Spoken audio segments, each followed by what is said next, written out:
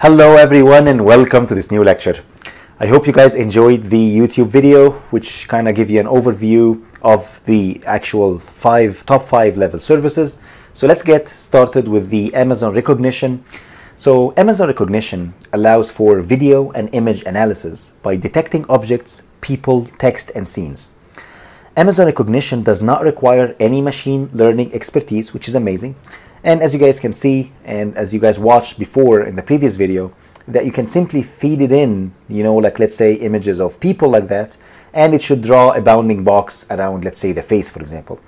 Or you can feed it in image like that, for example, and it can tell you, okay, this is a chair, this is a handbag, this is a mouse, this is a cup, bowl, bottle, and so on. So it can perform object detection because it has been able to locate the object. So actually by drawing a bounding box, you can locate the actual, basically the object, where the object is in the image. And it can tell you as well as well the class. So it can tell you this is a cup, this is a laptop, and so on. And it can provide you as well with a confidence score, which is how confident it is basically um, uh, within that specific class, how confident the neural network is when it gives that prediction. So it is based on advanced deep learning technology that learns every day as more data becomes available. Simply upload a video or image to Amazon S3 and analyze it using Amazon Rekognition, pretty straightforward, and it could be used to provide facial recognition, facial analysis, celebrity recognition. So for example, you can upload, let's say, an image of Jeff Bezos, for example, and you know, it can detect Jeff Bezos right away. And you can upload whatever image. I actually tried to test it, you know, with the, my own image and it didn't recognize anything yet. and if you try, let's say, face comparison, you can do it. Text detection in image as well, you can do that too. Facial recognition performance depends on lighting and resolution, so you have to be careful with that. And video streaming comes from Kinesis video streams, and it can be it has to be encoded at 5 or 30 frames per second. All right. So what about the features? So first, it's an easy integration. So there is only a very easy and simple API improving performance every day. So it's actually like the performance of Amazon Rekognition is becoming better and better every day. So it's learning and growing and becoming better as more data becomes readily available. There is no management or hassle, so Amazon Rekognition can support millions of requests with requests with minimum latency, which is again pretty incredible. There is real-time performance, so can, it can work in real time with Kinesis video streams.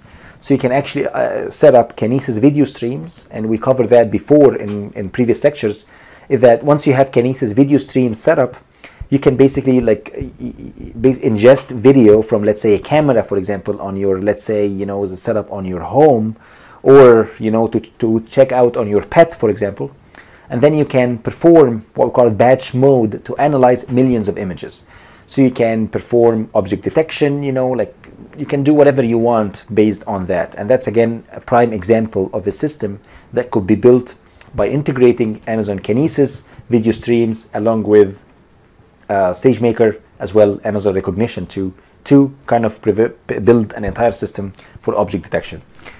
Low cost, so only paper images and videos time and video time along with storage. So obviously zero upfront cost in the beginning.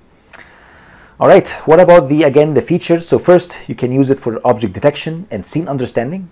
So object and scene recognition beside activity detection, such as cat drinking milk, you could be able to do that. Facial recognition, so you can feed in a series of images to perform facial recognition. Facial analysis, you can obtain information about your face such as age, level of happiness, and facial hair. Again, pretty incredible. Pathing, so Amazon Rekognition can capture the path of objects in a given image. So you can, for example, have an athlete movement in a field to perform post-game analysis. So you can actually, if you have, let's say, if you're watching a specific game, you can actually detect the path of different object within the scene, which is incredible unsafe content identification, so you can detect inappropriate or hazard content, celebrity recognition, you can recognize faces of celebrities, and text and images, Amazon Rekognition can detect text from images such as street names and license plates as well. All right. So as you guys recall in the YouTube video, again, here, that's what basically uh, Amazon Rekognition look like. Pretty straightforward. You feed it in an image like that, and it can tell you that this is a city, town, building, there's urban, metropolitan, high rise, and so on. You can feed it an image like that to do facial analysis. So it can actually tell you, okay, these are the three faces the network has detected. And it can tell you that this face looks like a face, appears to be male, age range, smiling or not, appears to be happy, wearing glasses or not, eyes open or not, and so on. And I actually uploaded my image as well, and it can tell you it looks like a face, you know, appears to be male, age range 23 to 35, which is pretty accurate, and they're smiling, yes, appears to be happy, I hope, you know, not wearing glasses, true, and so on. Again, pretty amazing, and I hope you guys have watched the video already where you actually saw this in action. All right, okay. And that's all what I have for Amazon Rekognition. I hope you guys enjoyed this lecture and we are gonna cover Amazon Comprehend in the next lecture.